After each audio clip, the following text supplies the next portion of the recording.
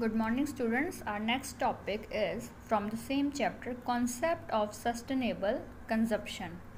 आपको मैंने पिछले टॉपिक में सस्टेनेबल डेवलपमेंट के बारे में बताया था और उस पर बताया था क्वेश्चन किस तरह बनकर आ सकता है सेम इस टॉपिक से भी क्वेश्चन बनकर आ जाता है कि सस्टेनेबल कंजप्शन क्या है सस्टेनेबल वर्ड का मतलब मैंने आपको पहले ही समझाया था रिसोर्सेज को सस्टेनेबल वे में यूज़ करना कम से कम यूज़ करना अच्छे मैनर में वेल वे में यूज़ करना ताकि आप नेचर नेचुरल रिसोर्स कंजर्वेशन कर सकें और अपनी नीड्स भी फुलफ़िल करें और, और अपनी फ्यूचर जनरेशन में जो आ, है उनके लिए भी फ्यूचर जनरेशन के लिए भी रिसोर्स को बचा कर रखें।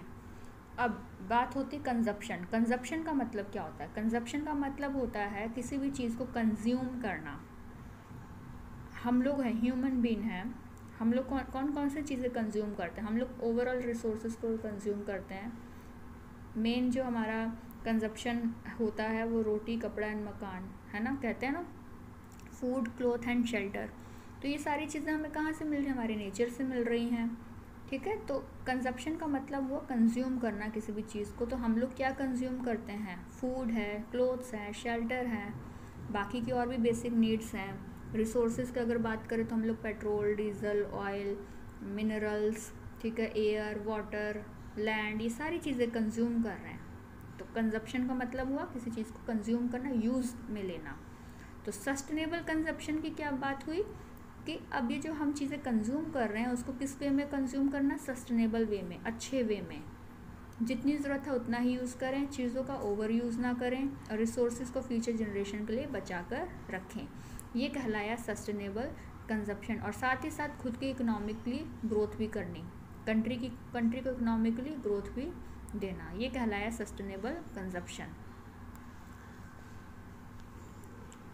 सेम यही चीज़ है जो भी आपको मैंने ओवरऑल समझाया. Every organism in the nature feeds on different और various food products to use any product is called consumption कोई भी प्रोडक्ट का यूज़ करना कहलाया कंजप्शन जिसका एग्जांपल भी है फ़ूड क्लोथ एंड शेल्टर जो हमारी बेसिक नीड है, ठीक है?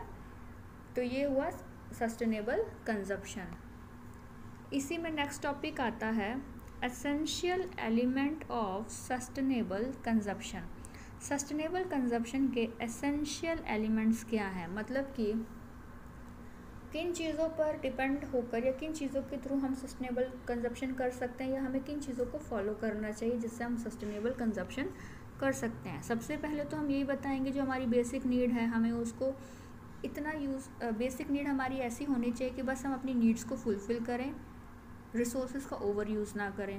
है ना? तो हमारी जो बेसिक नीड्स हैं, वो कैसी होनी चाहिए कि ह्यूमन बींग को जितना ज़रूरत है, वो उतना ही यूज़ करें रिसोर्स को। नेक्स्ट आपने देखा होगा रिच और एफ्लुएंट लोग जो हैं मतलब जो अमीर लोग हैं, वो क्या करते हैं? रिसोर्सेज का ओवर यूज़ करते हैं। अगर घर में पाँच मेंबर हैं तो पाँचों के लिए अलग अलग गाड़ी हुई। तो अलग अलग गाड़ी हुई तो ऑटोमेटिकली पेट्रोल डीजल जो हमारा फॉसिल फ्यूल है, वो ओवर यूज़ हुआ। पाँच रूम है घर में तो पाँचों में एसी तो क्लोरोफ्लोरोकार्बन रिलीज़ हुआ, जो क्लाइमेट चेंज में और ग्लोबल वार्मिंग में हेल्प करता जो कि हार्मफुल है हमारे लिए। तो इस तरह की प्रॉब्लम ना होना, ठीक है? ये सब नहीं करना है। हमें ये सारी पॉलिसीज़ को ख़त्म करना है। उसके बाद नेक्स्ट है there should be coordination between economic development and resources जो हमारी इकोनॉमिक डेवलपमेंट है और जो रिसोर्स इसमें आपस में अच्छा सा कोऑर्डिनेशन होना चाहिए। जब अच्छा कोऑर्डिनेशन होगा तो ही सस्टेनेबल कंजप्शन हो सकती है। क्योंकि हमने खुद को इकोनॉमिकली डेवलप भी करना है और साथ ही साथ रिसोर्स को बचाना भी है तो ही सस्टेनेबल कंजप्शन कहलाएगा। Natural resource should be use in a manner in a good manner use करना है रिसोर्स को, और डू नॉट ओवर यूज़ और इसको ओवर यूज़ भी नहीं करना। जितना हो सके कम से कम यूज़ करें।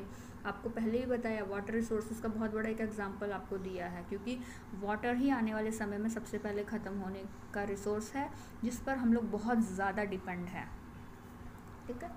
उसके बाद हमारा नेक्स्ट पॉइंट आता है।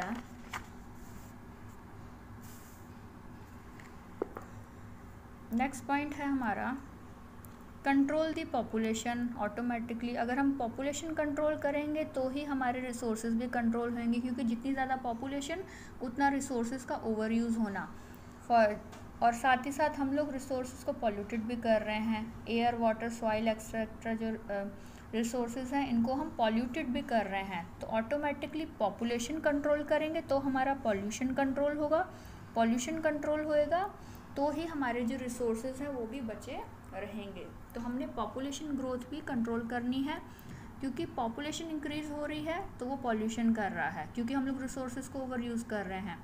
और हम ही लोग हैं जो एयर एयर पॉल्यूशन कर रहे हैं वाटर पॉल्यूशन कर रहे हैं सॉइल एंड लैंड पॉल्यूशन कर रहे हैं। पॉपुलेशन ज़्यादा हुआ तो industry factory school college automobiles सब हैं। और यहाँ से एयर पॉल्यूशन हुआ हार्मफुल गैसेस रिलीज़ हुई। वाटर पॉल्यूशन भी हमने किया।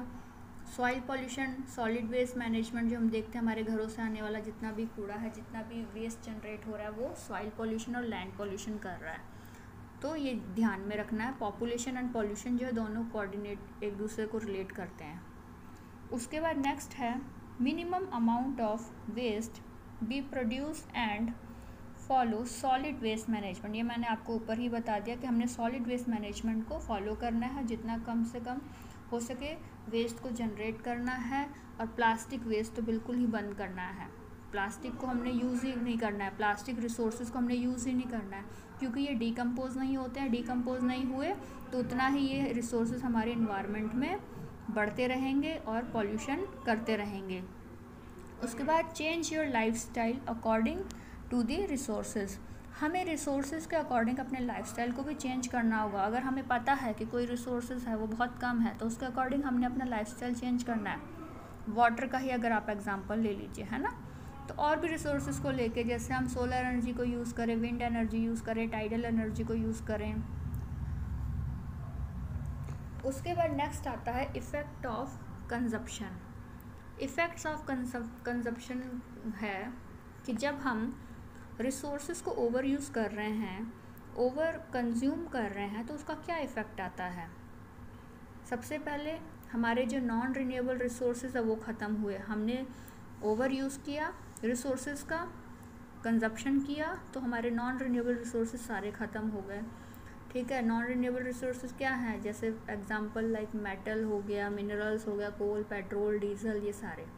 हमें क्या करना है? हमें इनकी जगह सोलर एनर्जी विंड एनर्जी का यूज़ करना है। लेकिन ये हमें इफ़ेक्ट पड़ रहे हैं कि हम बहुत ज़्यादा कंजप्शन कर रहे हैं, हमारी बहुत ज़्यादा पॉपुलेशन इंक्रीज़ हो रही है। पॉपुलेशन ग्रोथ की वजह से रिसोर्सेज पर हम ज़्यादा डिपेंड है तो कंजप्शन ज़्यादा होने की वजह से जो हमारे नॉन रिन्यूएबल रिसोर्सेज है, ये ख़त्म हो रहे हैं। क्रिएट पॉल्यूशन एंड वेस्ट ये भी हमें पता है। बहुत ज़्यादा पॉल्यूशन हो रहा है और वेस्ट जनरेट हो रहा है। Renewable natural resource are either getting depleted और या तो वो ख़त्म हो रहे हैं, ठीक है, जो हमारे नेचुरल रिसोर्स है, या तो वो ख़त्म हो रहे हैं और their quality is being degraded या उनकी क्वालिटी जो है बहुत ज़्यादा ख़राब होती जा रही है। और साथ ही साथ आपने देखा होगा ये सारी चीज़ें क्यों हो रही हैं? डिफॉरेस्टेशन होने की वजह से और ओवर यूज़ होने की वजह से। जो हमारा ग्राउंड वाटर है, वो भी बहुत ज़्यादा ओवर यूज़ हो रहा है, उसकी वजह से भी। आपने देखा होगा, हम वाटर पॉल्यूशन की बात करते हैं कि पानी गंदा है। क्यों हो रहा है? क्योंकि हम लोग पॉल्यूशन कर रहे हैं तो अंडरग्राउंड वाटर भी हमारा पॉल्यूटेड हो रहा है और पानी कम है ज़मीन के नीचे, है ना? और ये डिफॉरेशन डिफॉरेस्टेशन कर रहे हैं, पेड़ों की कटाई कर रहे हैं तो मॉइस्चर नहीं बना रहेगा किसी भी एरिया का तो बारिश नहीं होएगी। ठीक है आसपास की हवा साफ़ नहीं रहेगी तो इस तरह की प्रॉब्लम आती हैं। तो ये सारी प्रॉब्लम्स क्या हैं? Effect of consumption consumption consumption के इफ़ेक्ट्स हैं। यहाँ से भी क्वेश्चन बन जाता है कि कंजप्शन क्या है, वो बताइए, ठीक है? और कंजप इफ़ेक्ट्स बताइए कंजप्शन के, और साथ ही साथ यहाँ क्वेश्चन आता है कि कंजप्शन पैटर्न बताइए। या अलग से भी क्वेश्चन आ जाता है कि कंजप्शन पैटर्न क्या है, वो बताइए। लेकिन अगर आपको पाँच नंबर पे कंजप्शन पे क्वेश्चन आता तो आप कंजप्शन के बारे में बताएँगे, ठीक है? फिर उसके आप ये इफ़ेक्ट्स बताएँगे, उसके बाद कंजप्शन पैटर्न कंजप्शन पैटर्न को हमने थ्री पार्ट्स में डिवाइड किया है प्राइमरी सेकेंडरी एंड टर्शरी सबसे पहले हम प्राइमरी कंजप्शन की बात करेंगे प्राइमरी गुड्स जो हैं हमारे कंजप्शन को थ्री पार्ट्स में डिवाइड किया primary secondary and tertiary primary goods क्या हुआ? प्राइमरी गुड्स में वो आएँगे गुड्स जो ओवरऑल सभी लोग यूज़ कर रहे हैं। सभी लोग कंज्यूम कर रहे हैं, जैसे cereals milk meat fuel wood fuel wood etcetera ये रिसोर्सेज वो हैं जिनका प्राइमरी लेवल पे सभी लोग यूज़ कर रहे हैं। इसको हमने प्राइमरी गुड्स के अंडर रखा।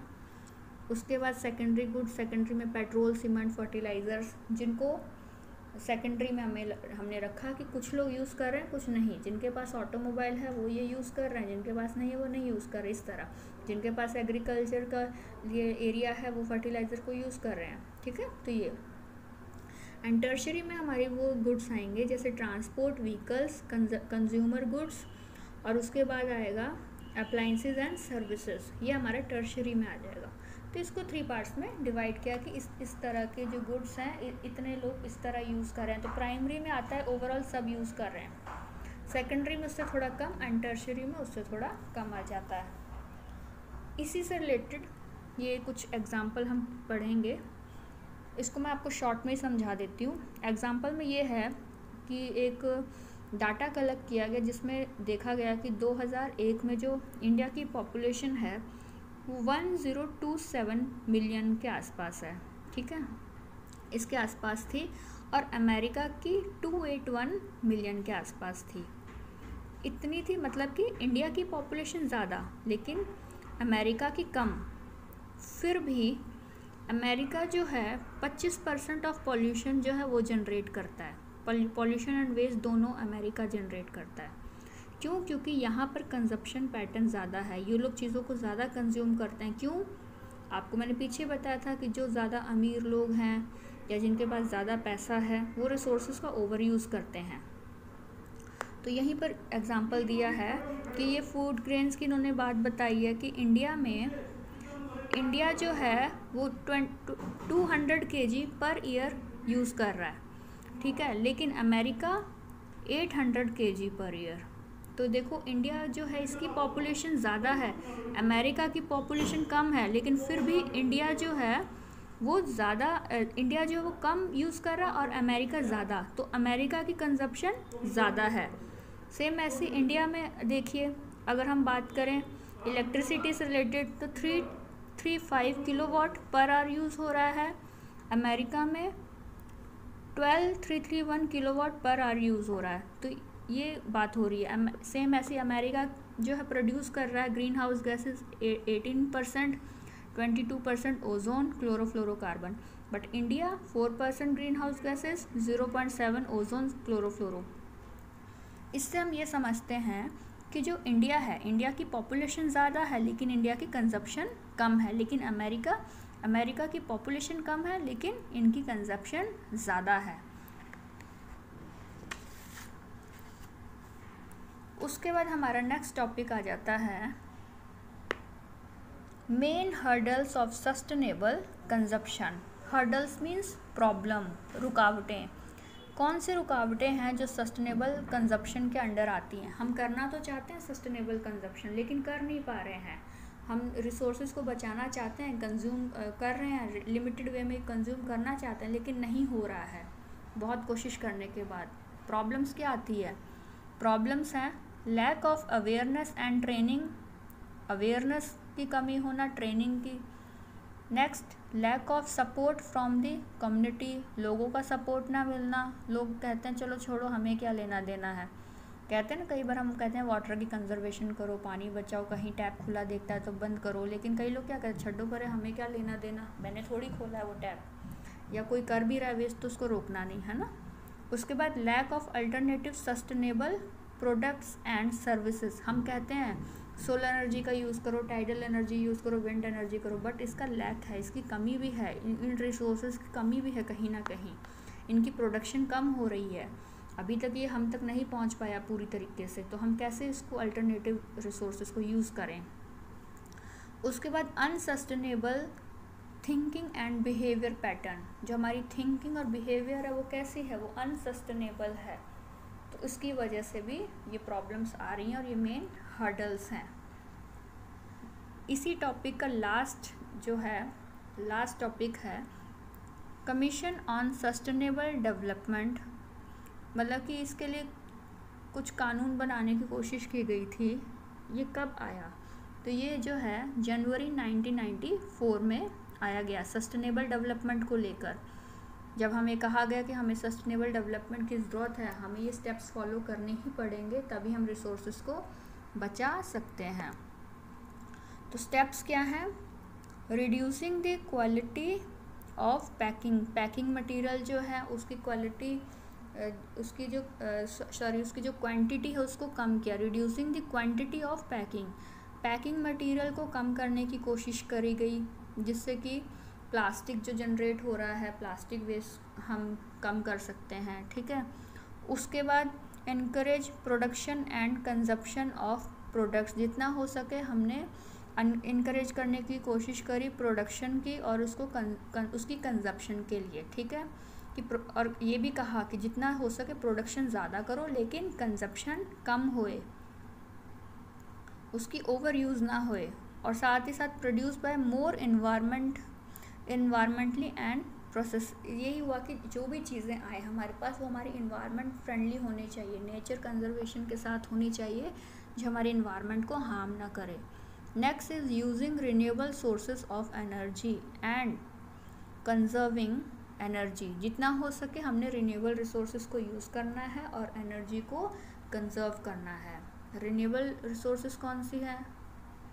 जो ख़त्म नहीं होती हैं, जो रिन्यू होती रहती हैं solar energy wind energy tidal energy ये सारी हमारी रिन्यूएबल रिसोर्सेज हैं। उसके बाद making greater use of public transport जितना हो सके पब्लिक ट्रांसपोर्ट का यूज़ किया जाए। क्यों? ताकि फ्यूल का बचत कर सकें पेट्रोल डीजल की बचत हो सके। Reducing the amount of water waste water waste जो है वेस्ट इसको बचाना, कम से कम पानी का यूज़ करें। Reducing the use of environmentally harmful products environment को हार्म करने वाले प्रोडक्ट्स को कम से कम यूज़ करें। तो आपका ये टॉपिक यहाँ ख़त्म होता है। अब सस्टेनेबल कंजप्शन को आपने कैसे करना, आपको क्वेश्चन आएगा कि सस्टेनेबल कंजप्शन क्या है तो आपने सस्टेनेबल कंजप्शन के बारे में थोड़ा सा बताना है। ये जो यहाँ पर हमने किया था कि सस्टेनेबल कंजप्शन क्या है, इसके एग्जांपल्स बताओगे, फिर आप इसके एसेंशियल एलिमेंट्स बताओगे, उसके बाद आप मेन जो है, ये उसके बाद आप इसके इफ़ेक्ट्स बताओगे। इफ़ेक्ट्स बताओगे कंजप्शन के, कि जब हम आप कंजप्शन कर रहे हो, चीज़ों को कंज्यूम कर रहे हो तो उसके क्या इफ़ेक्ट्स आ रहे हैं। फिर आप कंजप्शन पैटर्न बताओगे, जिसको हमने प्राइमरी सेकेंडरी टर्शरी में डिवाइड कर एक छोटा सा एग्जांपल आप इंडिया और अमेरिका का भी दे सकते हैं।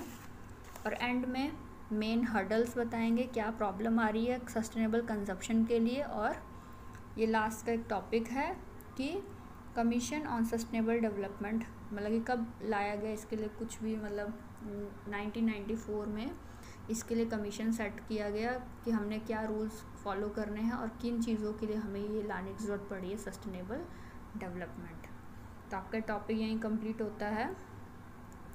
मार्क्स के अकॉर्डिंग आप करेंगे। कई बार सिंगल क्वेश्चन आ जाता है कि मेन हर्डल्स बताइए। या सिंगल क्वेश्चन आ जाएगा कि कंजप्शन पैटर्न बताइए। इस तरह भी आ जाता है। ओके बेटा थैंक यू।